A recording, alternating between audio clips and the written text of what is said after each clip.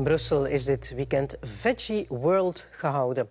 Een beurs die een veganistisch leven promoot met enkel plantaardige producten. Dus ook geen eieren of koeienmelk die in de vegetarische keuken wel mogen.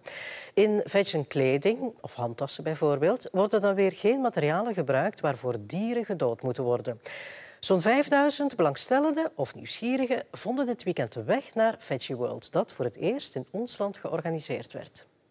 Dus de bodem is gemaakt van amandelen en pekannoten met dadels. Plantaardige desserten, diervriendelijke make-up of vegan kebab. Het zijn enkele van de vele producten die op Veggie World worden voorgesteld.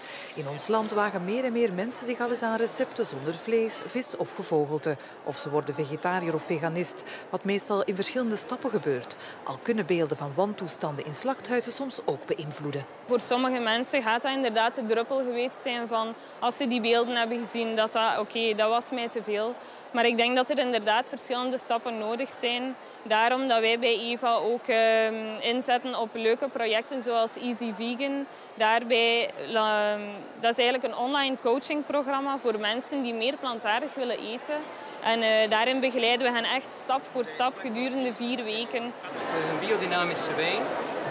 Die wordt met de hand geplukt Ouders voeden hun kinderen ook vaker als vegetariër of veganist op. Aan veganisten wordt aangeraden om een supplement van de vitamine B12 te slikken, omdat het enkel voorkomt in producten van dierlijke afkomst.